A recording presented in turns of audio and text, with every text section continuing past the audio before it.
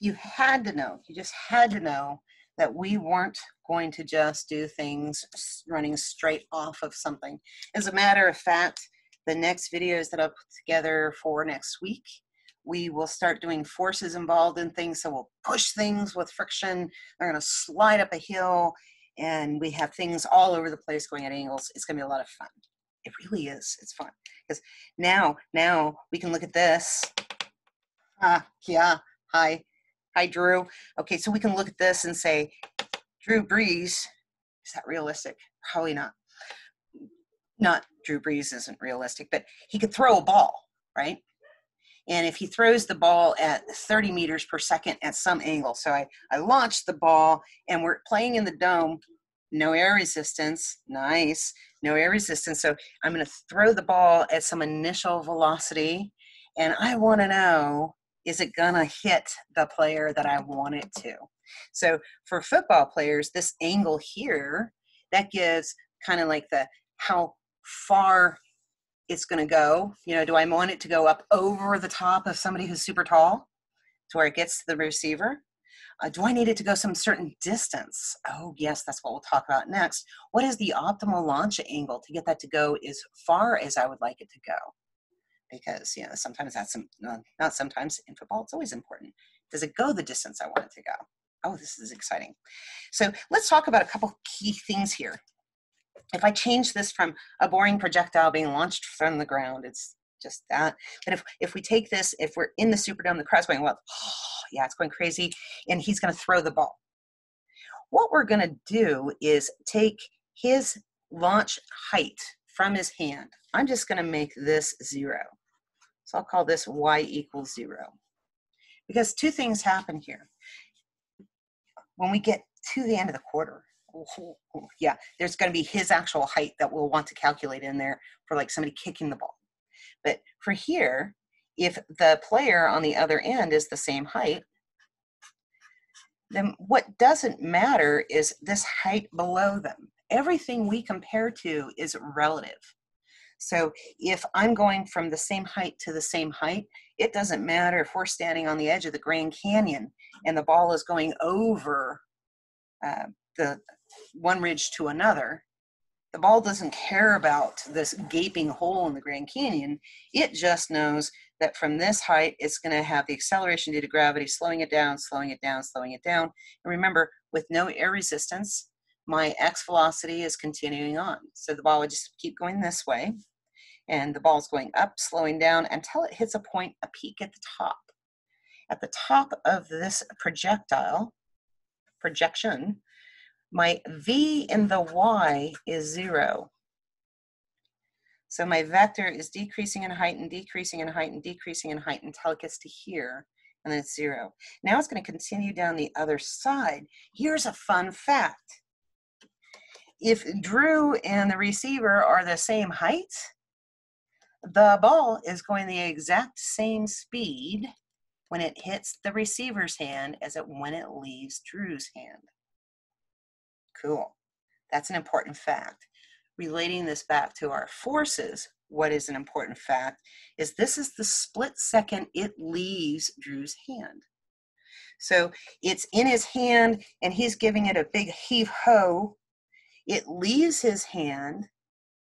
He's no longer has any influence on that ball. He's given it all the force and the acceleration it could have. At this point in time, it has what it has, and now the only force acting on it is in the y, and the x is constant. Same with baseball. As soon as it leaves the pitcher's hand, although I can't see a pitcher throwing a ball at that angle, but I'm not a baseball person. But as soon as it leaves the pitcher's hand, the pitcher no longer has any influence on that. The ball is no longer accelerating relative to that motion from the pitcher. The only thing we have acting on it at that point in time is either air resistance or gravity. So in this case, we're in the dome, there is no air resistance, just the acceleration due to gravity. So it's going to come over here and land some distance away, and we want to know, is it going to hit? We also want to know the max height. So there's a couple things we can capitalize on here. I can go like this. I'm like, okay, so at this point in time, it is the velocity in the y is zero. The velocity in the x is that initial, V initial, V initial in the X. Sorry, I was trying to think of a way to notate that. And then as it's coming down, bunk, bunk, bunk, bunk, bunk, bunk, bunk, we get back here, I know that it is now a velocity vector coming down with a net magnitude of 50 meters per second.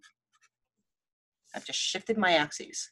So I'm going to call all of this y equals zero because that's just same height, the same height. It's all relative. So we just need to do this. So I look at this, I'm like, okay, this, unlike before, we make our little table. We can go, oops, sorry about that. Let's go like x and y. So here my v and my x is a component of that. So my v and the x is going to be, let me do this in a different color, is the velocity vector going like this. And the velocity vector going like that. This is my x component of that velocity. So it's touching the angle. It is 50 cosine of 30.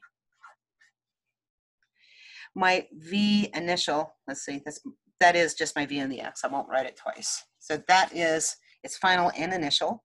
We know acceleration is zero because that is final and initial. Let's make a note, final and initial.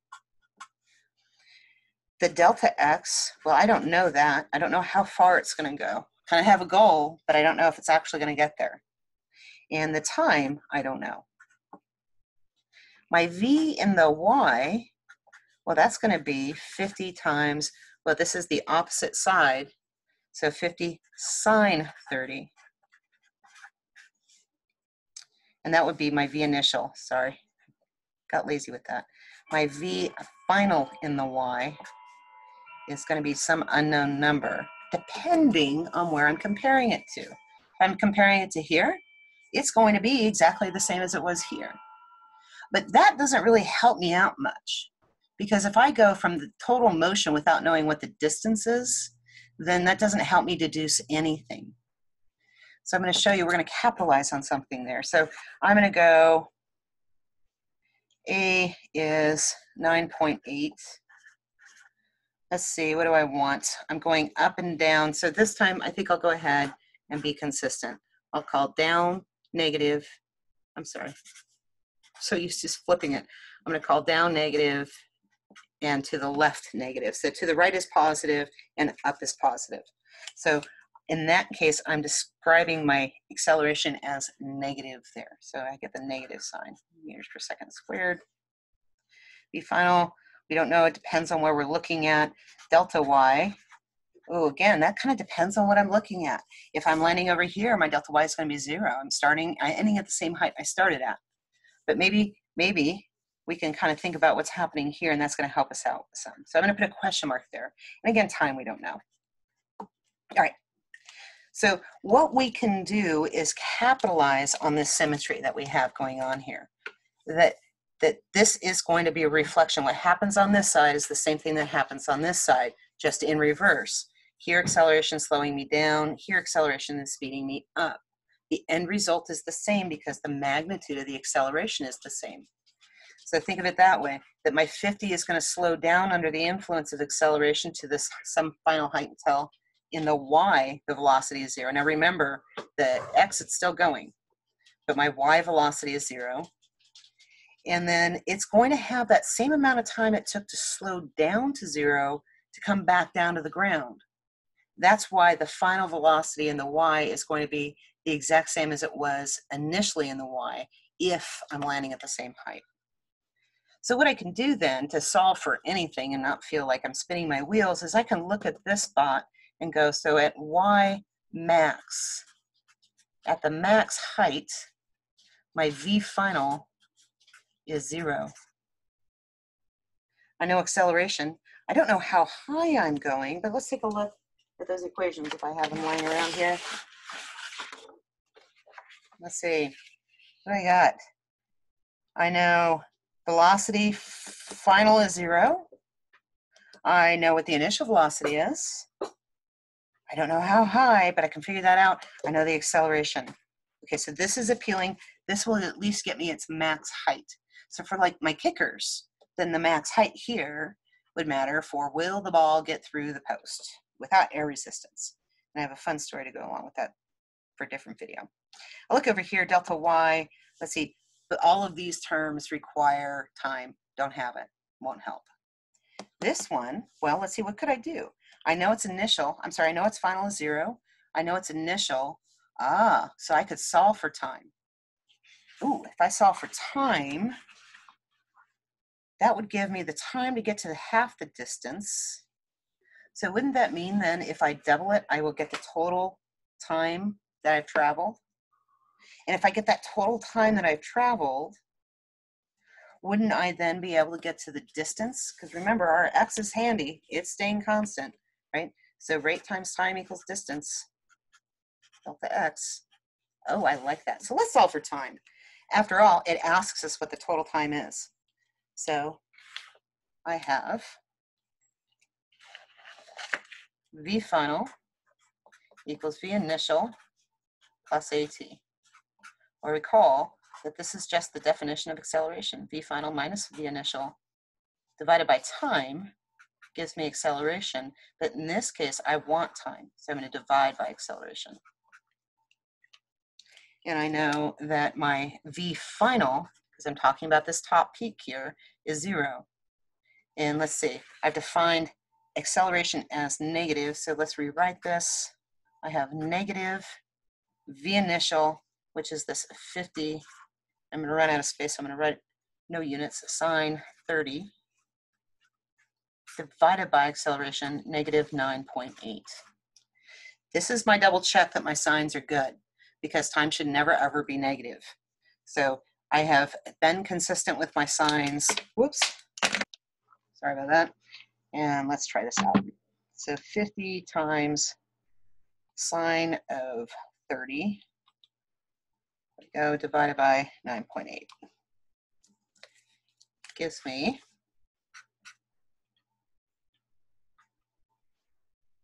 Oh, shoot. Oh, shoot. We weren't at angles then. I'm sorry. I just forgot. Mode. I'm in radians. Like, why did I get a negative number? That's bad. So that is one thing to keep in mind is always double check your settings on your calculator to make sure you are in the units you plan on being. So degrees, there we go. Let's try this again.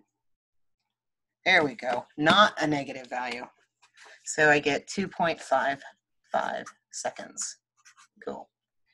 So my this is halfway. Just re reinforcing this. This is to here.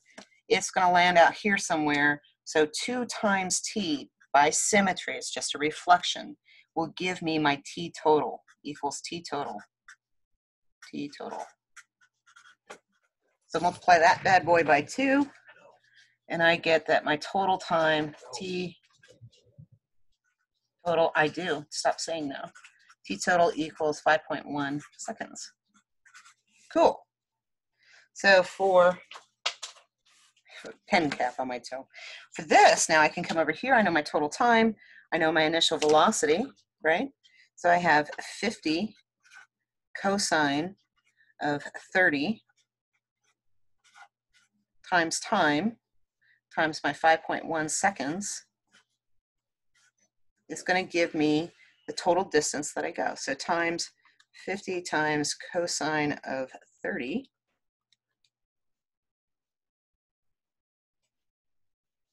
Wow, Drew, you threw it far.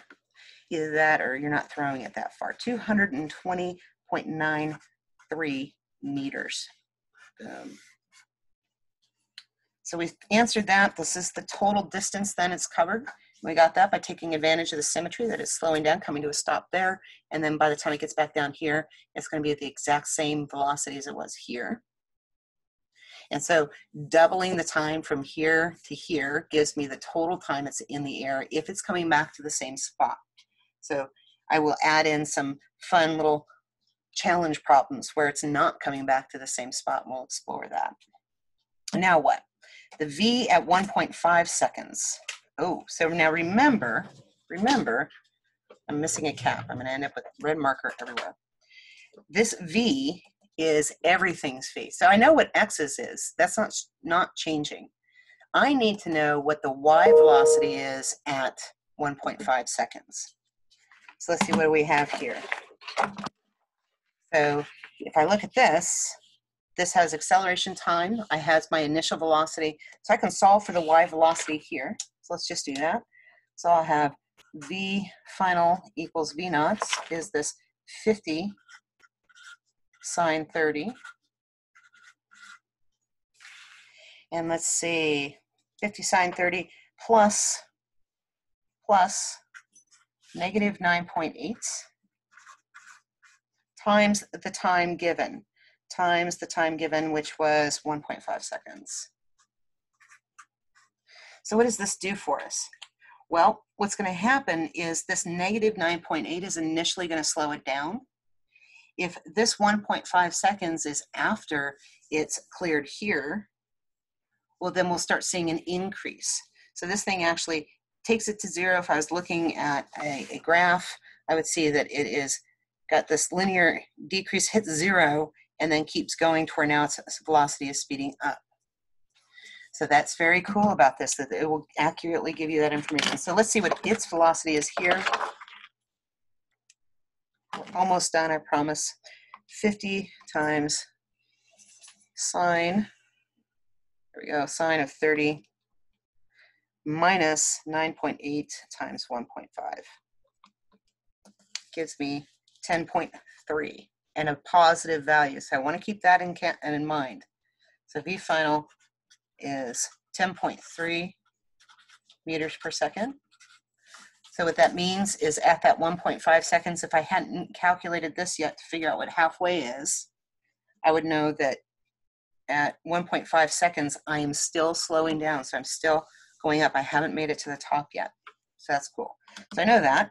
So its overall velocity, the magnitude of its velocity then is going to be the square root of 10.3 squared plus this 50 cosine of 30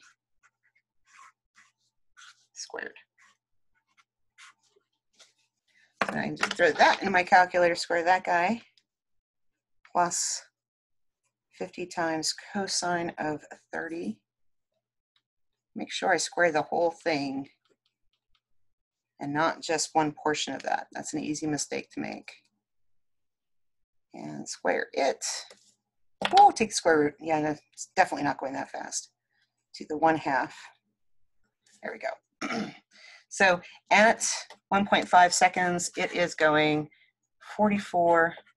44.5 meters per second. It's still moving pretty fast. There we have it. So by taking advantage of symmetry, we can really simplify these problems. And if it was going further down, you can just start this as a starting point where you know what its initial velocity is here. And then you just kind of add in those extra pieces. That's all you got to do. Uh, for the next videos, I'll do a couple more that are a little bit more involved, and then you can see how we can pull it together with forces. Go Brew.